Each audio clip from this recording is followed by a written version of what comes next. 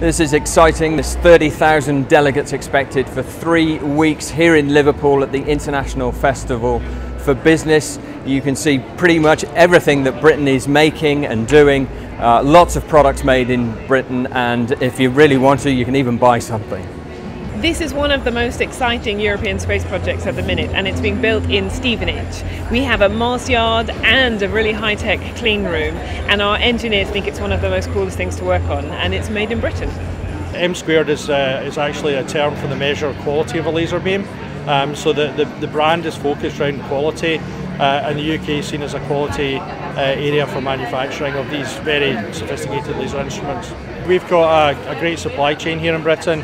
Uh, we often work with uh, companies in supply chain that, that work in aerospace or space or defence, and those those uh, industries uh, create very very high quality. So for us, uh, that that kind of 21st uh, century supply chain is really important to be able to take these types of technology to market.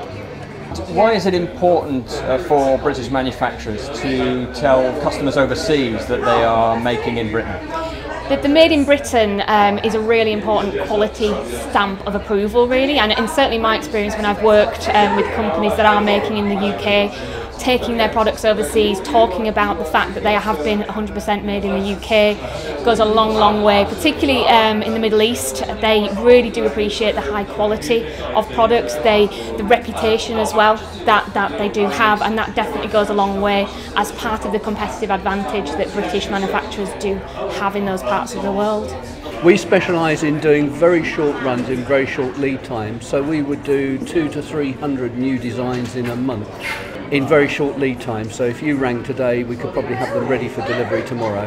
We are made in Britain because we needed to compete with China. So if people are bringing cups in from China, it takes them eight to ten weeks.